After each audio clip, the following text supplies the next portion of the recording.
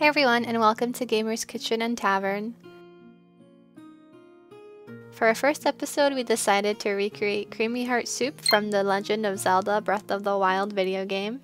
The video game recipe calls for a hydromelon, a volt fruit, a hearty radish, and some fresh milk. We started off with trying to peel a dragon fruit only to then realize we probably should have googled it first. Then after figuring it out, we cut the sides of the dragon fruit and then we cut it in half. This was the first dragon fruit we bought that was not white on the inside, which I realize is probably going to make it harder to get a creamier pink color for the soup. Nick was able to peel it afterwards with his hands,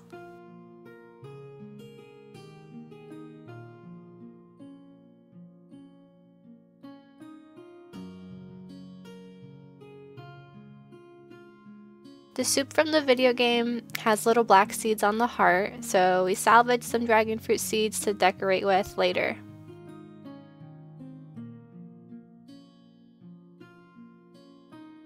Next, Nick chopped up some radish and put it aside.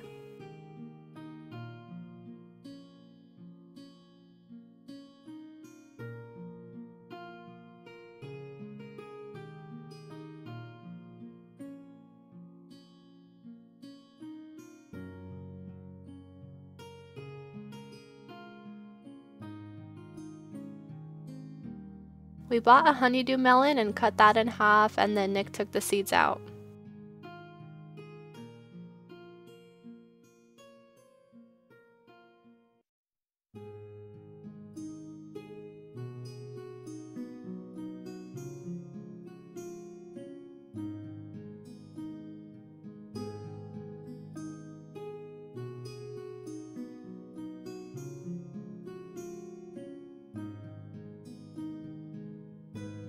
Using a melon baller, we made a few melon balls to use for the soup garnish.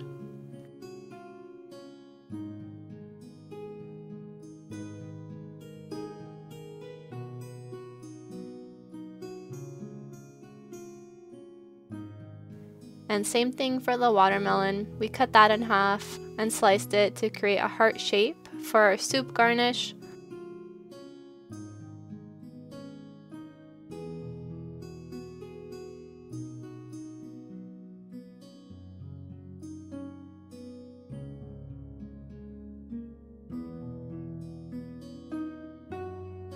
And then use the melon baller for more garnish.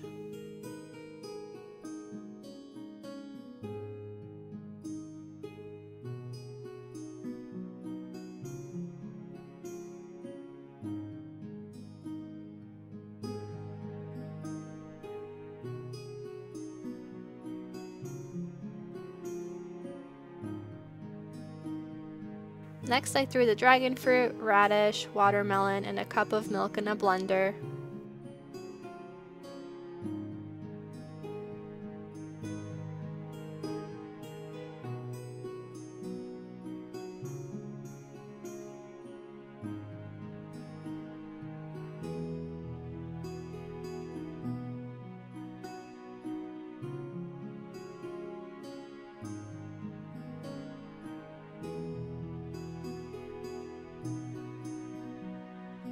As expected, the color was way more neon purple than light pink, but I was able to use more milk to try to get it closer to the actual color from the game.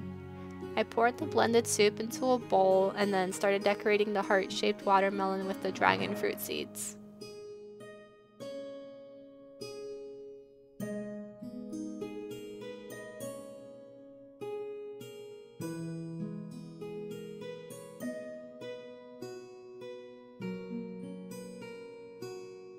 I forgot to realize that all of the melon garnishes would sink easily and I thought the video was going to be a disaster.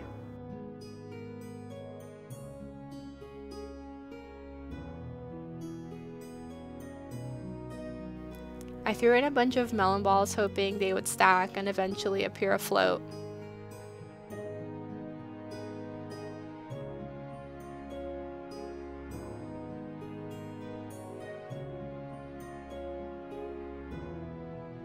I was able to keep the watermelon heart afloat by putting a sauce dish upside down and placing the watermelon on it.